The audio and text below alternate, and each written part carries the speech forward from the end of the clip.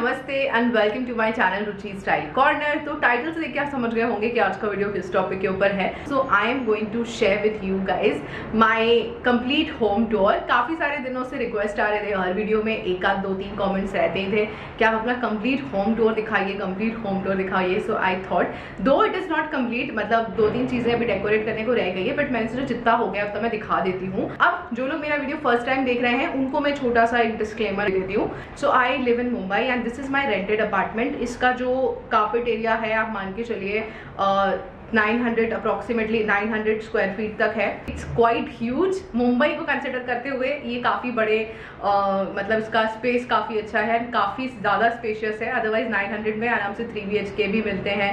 तो it's huge और two B K apartment है। ये चार बैल्कनीज है इसमें। छोटी छोटी है बट है चार बैल्कनीज जनवरी में हम यहाँ पर मूव हुए थे। एंड इसका जो मेकओवर है कि अलग अलग मेकओवर्स डाले हुए हैं। Living room balcony kitchen bedroom तो जिनको इन डेप्थ मेकओवर्स देखना है कि ये पहले कैसा था बाद में कैसा हुआ कौन सी चीज़ कहाँ से ली है लिंक्स एंड एवरीथिंग वो सब उन डेडिकेटेड uh, वीडियोस में जाकर के आप देख सकते हैं। डे टूर आपको दे दूँगे एंड साथ ही साथ नाइट वाला आपको एक व्यू दे दिया जाएगा कि नाइट में ये कैसा लगता है। Without further do let's get started with the video okay okay guys तो ये है मेरे घर की मेन एंट्रेंस इसमें एक आता है लेफ़्ट हैंड साइड का एरिया और एक आता है राइट हैंड साइड का एरिया तो हम राइट हैंड साइड से स्टार्ट करते हैं। तो यहाँ पर सबसे पहले तो ऑब्वियसली हमारी हमारी शू रैक एक यूनिट है, जो कि हमने कस्टमाइज़ करवाई थी टीवी यूनिट के साथ में। तो वो आप डिटेल वीडियो में देख सकते हैं लिंक में डिस्क्रिप्शन बॉक्स में दे दूँगी। साइड में एक ये पाम ट्री लगा हुआ है this is a fake palm tree ये मैं क्रॉफिट मार्केट से लेकर के आई थी। इट लुक्स रियली एकदम रियल लगता है ये। कोई भी हमारे घर में आता है तो वो फिगर आउट नहीं कर पाता है कि ये फेक है या रियल है। उसके बाद ये जो आप देख रहे हैं, ये वाटर फाउंटेन है। This is a D I water fountain ये हमने घर पे बनाया है। जैसे कि एक छोटा सा टेबल लैम्प हमने रखा हुआ है। उसके साइड में हमारा मनी प्लांट है। तो आपको मेरे घर में काफ़ी सारी ग्रीनरी मिलेगी, जिसमें से 90 percent of my plants are real and कुछ छोटे मोटे प्लांट्स हैं जो फेक हैं बट मोस्टली सब रियल प्लांट्स ही हमारे यहाँ मिलेंगे।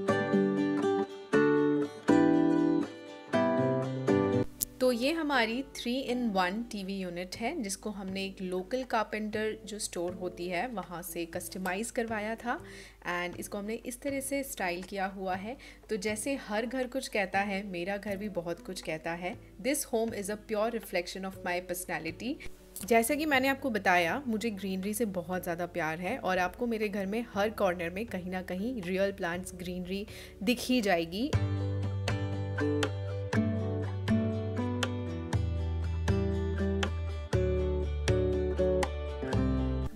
अब आप लोग आ गए हैं मेरी बैल्कनी में। काफ़ी छोटी बैल्कनी है ये बट मैंने पूरी तरह से कोशिश किया है कि इसको मैं बहुत सारे प्लांट्स के साथ डेकोरेट करूँ बट उसके साथ साथ मैंने इसका भी ध्यान रखा हुआ है कि ये प्रैक्टिकल वे हो एंड साथ ही साथ क्लटर फ्री हो क्लटर ना लगे। तो यहाँ पर सारी चीज़ें हमने डी करी हैं। इसका आप कंप्लीट वीडियो देख सकते हैं मेकओवर किस तरह से हमने इसको डेकोरेट किया है।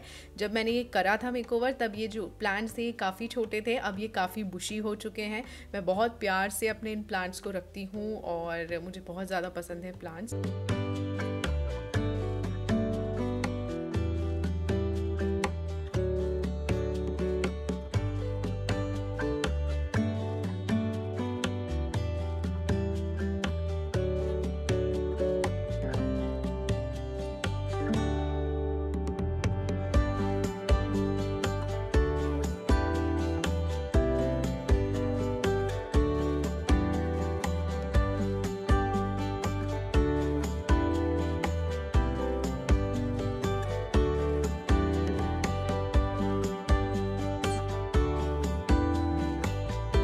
तो मैं काफ़ी हाई राइज पे रहती हूँ और मैं ट्वेंटी फ्लोर पे रहती हूँ। तो यहाँ से किस तरह का व्यू दिखता है, वो मैं आपको एक छोटी सी झलक दे देती हूँ। मैं रात का व्यू भी दिखाऊँगी, वो ज़्यादा सुंदर मुझे लगता है।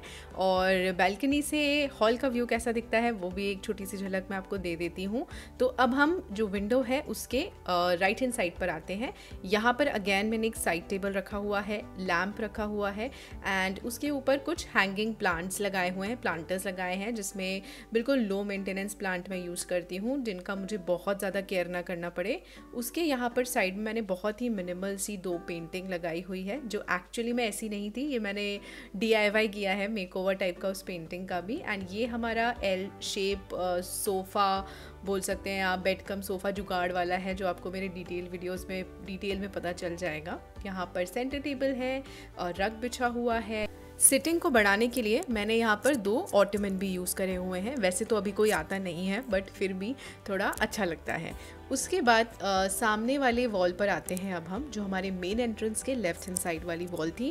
मैं आपको बता देती हूँ ये वाला जो कॉर्नर है ना ये पता नहीं क्यों बट मेरा फेवरेट कॉर्नर है और मुझे ये बहुत ज़्यादा पसंद है।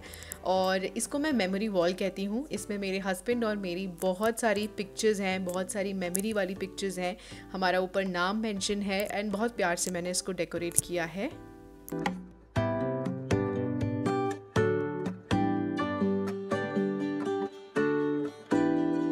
एंड यहाँ पर भी मैंने काफ़ी सारी ग्रीनरी यूज़ करी है। और ये सब रियल प्लांट्स ही हैं और जो कि बहुत ज़्यादा सुंदर लगते हैं इस कॉर्नर में। इसलिए भी आप बोल सकते हैं कि ये मेरा फेवरेट कॉर्नर है।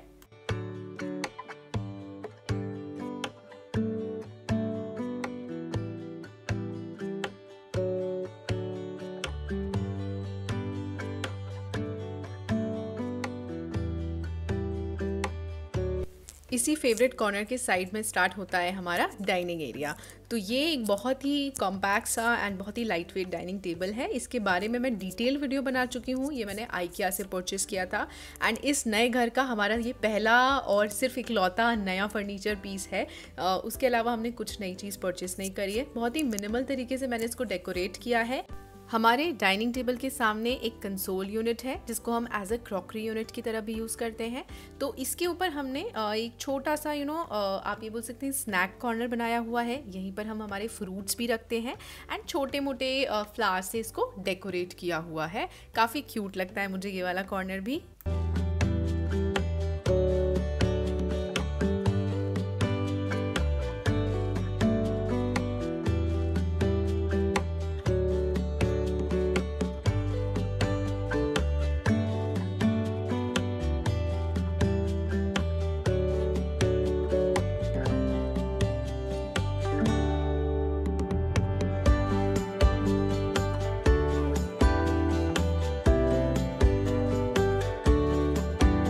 डाइनिंग टेबल के सामने ही एक और हमारी यूनिट रखी हुई है। उसके ऊपर हमने इस तरह से हमारा मंदिर रखा हुआ है। तो जो भी गेट से एंटर होता है, उसको ये मंदिर के दर्शन ज़रूर हो जाते हैं। अब डाइनिंग टेबल के सामने आते हैं किचन। तो अभी आप आ गए हैं मेरे किचन में। इसका भी मैंने डिटेल्ड डी पूरा जो मेकओवर किया है, वो शेयर किया हुआ है। तो आप वो ज़रूर देखिएगा कि रेंटल फ्रेंडली किचन में आप किस तरह से अपना सामान ऑर्गेनाइज कर सकते हैं। Without too much of drilling and all तो यहाँ पर बहुत हार्डली हमने कुछ कुछ ड्रिलिंग वाली चीज़ यूज़ करी है एक्सेप्ट दैट जो फ्लोटिंग वॉल शेल्फ है, हमने वो लगाया हुआ है ड्रिल करके। बाकी सारी चीज़ें अच्छे से ऑर्गेनाइज हो गई हैं बिना ड्रिल के ही। और इस तरह से मैंने इसको ऑर्गेनाइज़ किया हुआ है। जो जो यूटिलिटी का सामान है, जो डेली यूज़ में लगता है, सुबह, शाम कुकिंग में लगता है, वो सारी चीज़ें मैंने हैंडी रखी हुई हैं। और यहाँ पर भी आप काफ़ी सारी ग्रीनरी देखेंगे तो मैंने काफ़ी सारे मनी प्लांट यहाँ पर लगा रखे हैं। कुछ वास्तु के अकॉर्डिंग लगाए हुए हैं, कुछ मुझे शौक है, इसलिए मैंने लगाए हुए हैं।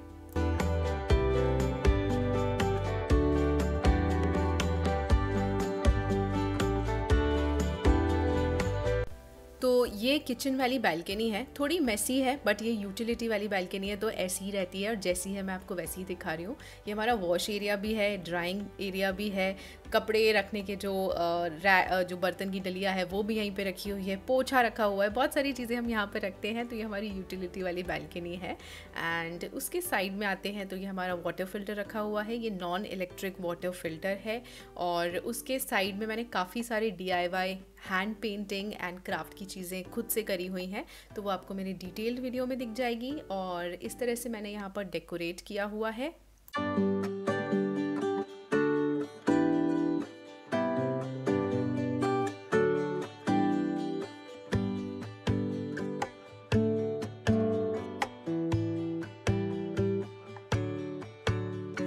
तो यहाँ जब आप देखेंगे ये जो यूनिट रखी हुई है शेल्फ है, इसके अंदर मेरे पूरे किचन जो इलेक्ट्रिकल अप्लाइंसेस है वो वाला एरिया आप बोल सकते हैं वो कॉर्नर है।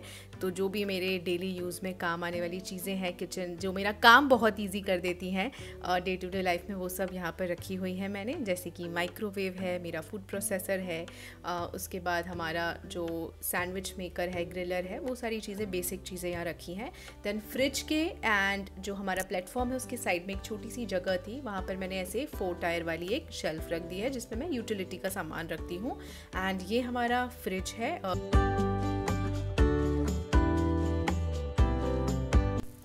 अब हम आ गए हैं किचन से बाहर निकल करके। इस तरह के एक पोर्च एरिया है। तो यहाँ पर वॉशरूम है कॉमन वॉशरूम है एंड इसके सामने एक रूम है, जिसमें विकी अभी काम करता है। तो इसको हमने बहुत ही अभी सिंपल रखा हुआ है। कुछ भी इसको डेकोरेट नहीं किया है। बहुत बेसिक सी चीज़ रखी हुई है। तो यहाँ पर हमारा वैक्यूम क्लीनर है। उसके साइड में एक यूनिट है वुडन की, जिसमें विक्की का पूरा ऑफ़िस का सामान, जो भी उसका सब चीज़ें होती हैं, वो सारी चीज़ें उसने इसके अंदर रख के रखी हुई है। उसके ऊपर एक बैम्बू की फ्रेम है, जिसमें हमारी पिक्चर है, यहाँ पर ये उसका वर्क स्टेशन है एंड यहाँ पर एक बैल्कनी है, जिसमें हमारे काफ़ी सारे प्लांट्स लगे हुए हैं, जैसे कि ये हमने टमाटर ग्रो किया है, यहाँ पर मेथी लगी हुई है एलोवेरा है, उसके बाद पालक लगा हुआ है एंड साथ ही साथ कड़ी पत्ता है, पुदीना है, ये सारी चीज़ें हैं एंड यहाँ पर उसके जिम के जो भी गेयर्स हैं, वो सारी चीज़ें हैं। यहाँ पर भी एक वार्ड्रोब है स्लाइडिंग डोर वाली एंड उसके साइड में आएँगे तो यहाँ पर मैंने एक मैट्रेस बिछा दिया है और छोटे मोटे ऐसे कुशन से डेकोरेट करके ऊपर एक मैक्रिम का वॉल हैंगिंग लगा दिया है दैट्स इट काफ़ी सिंपल रखा है ताकि ये रूम एटलीस्ट थोड़ा बैठने लायक लगे। उसके बाद यहाँ से बाहर आते हैं, अंदर लेफ़्ट हैंड साइड पर जाते हैं तो यहाँ पर हमारा आता है मास्टर बेडरूम और इस बेडरूम में एक अटैच्ड वॉशरूम है। और अब हम आते हैं इसके लेफ़्ट हैंड साइड में। तो यहाँ पर हमारा किंग साइज़ बेड है। उसके दोनों साइड में बेड साइड टेबल लगे हुए हैं। और बहुत ही मिनिमल तरीके से हमने इसको डेकोरेट किया है।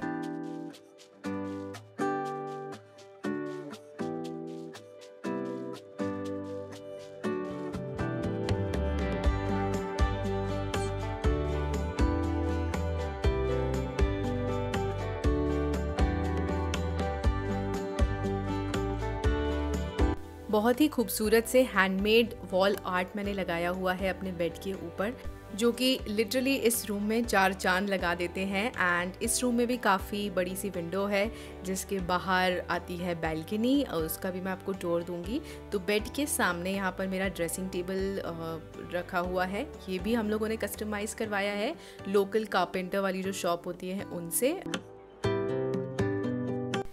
ये है हमारी बैल्कनी बेडरूम वाली। बहुत अच्छे से हमने इसको डेकोरेट नहीं किया है बट सिंपली यहाँ पर दो चेयर रख दी हैं और उसके बाद यहाँ से इस तरह का व्यू दिखता है। यहाँ पर हमने मॉस्किटो नेट लगा के रखी है ताकि कुछ भी कीड़े मकोड़े अंदर ना आए और यहाँ पर हम बैठ सकें। तो मोस्टली हम इसको ओपन ही रखते हैं शाम से। अभी जो ड्रेसिंग टेबल है, उसके साइड में आता है मेरा वर्क स्पेस तो इसको भी मैंने बहुत ही सिंपल तरीके से डेकोरेट किया है। कोशिश करी थी सिंपल तरीके से करने की बट थोड़ा सा सामान तो भी जो जो यूज़ में आता है वो तो रखना ही पड़ता है। काफ़ी छोटा सा टेबल है ये एंड काफ़ी अफोर्डेबल सा मैंने ऑनलाइन लिया था। And as I said you कि आपको बहुत सारी जगह प्लांट्स दिखेंगे तो ये सब रियल प्लांट्स हैं। और ये जो प्लांट्स हैं, ये काफ़ी सेफ़ हैं। आप इसको अपने बेडरूम में रख सकते हैं।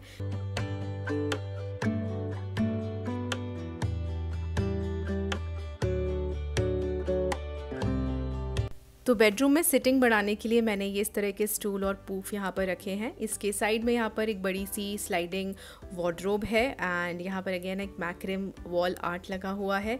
आपको समझ में आई क्या होगा, मुझे मैक्रम वॉल आर्ट्स काफ़ी ज़्यादा पसंद है वैसे तो।